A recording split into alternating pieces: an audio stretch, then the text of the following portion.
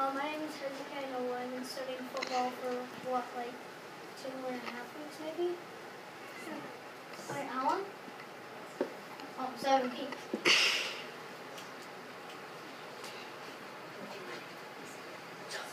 Uh, there are many NFL pros in the NFL. Uh, for example, there's one named Michael Vick.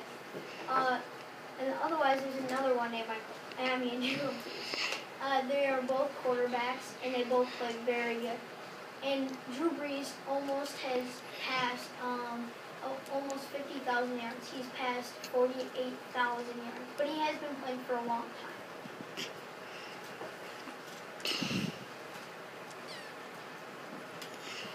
My topic. Uh, I've been studying three players, but I only have two players on here. Uh, I've been studying Chris Johnson, and Drew Brees, and uh, Chris Johnson. He is a running back, and Drew is a quarterback. And uh, these are two of some of the some of the best players in NFL. And uh, Chris Johnson, if you did not know, he actually got shot in the shoulder once, and he got really injured, and he was out for uh, like three or four games, and he got back in. He thought his career was over, and then he got back in. And um, I am also studying Michael Vick, and he played for the Falcons. But first he played for the Eagles, but then they had to drop him because he trained dogs to be bad. And then the Falcons.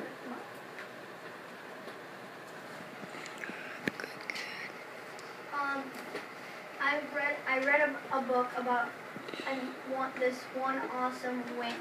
So the San Francisco 49ers, they had a quarterback named Joe Montana.